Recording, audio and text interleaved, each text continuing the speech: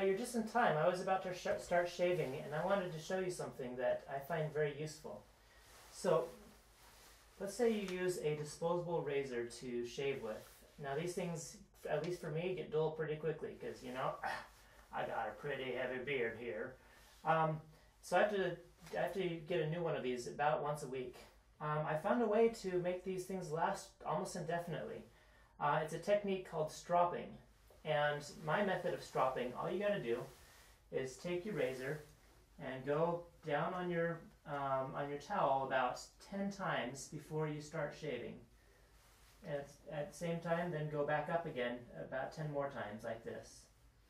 Always away from the direction that you would shave with. Okay, and then from there, you just start shaving like normal.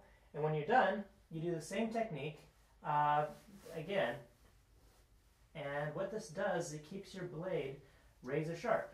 And since it's a razor, that's exactly what you want it to do. Does this work? Well, I've been using this exact same uh, razor for six months now, so it works for me. Anyways, that's about all there is to it. Um, go ahead and try it, see what you think, and tell me what, how it works out for you. Okay, till next time, bye.